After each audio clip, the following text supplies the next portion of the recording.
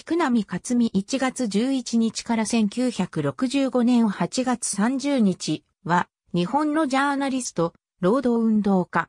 息子は、元参議院議員の菊波博士。香川県生まれ。関西学院大学卒業後、朝日新聞社に入社。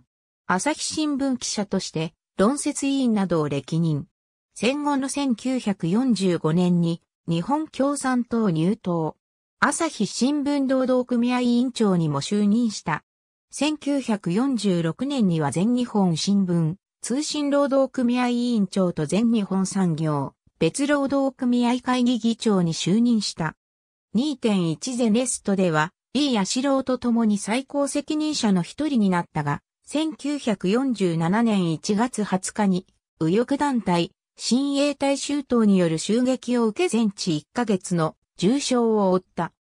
1949年の第24回衆議院議員総選挙で日本共産党から衆議院議員に当選するが、翌1950年のレッドパージによる公職追放を受け失職。中国に渡航して北京機関のメンバーとなり、自由日本放送の業務にも従事した。その後日本共産党代表としてヨーロッパで活動を行った。1958年に帰国し、赤旗編集局長、党幹部会員及び初期局員を務めた。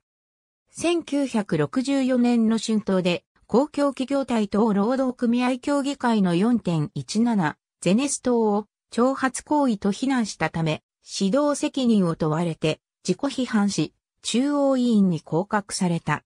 ありがとうございます。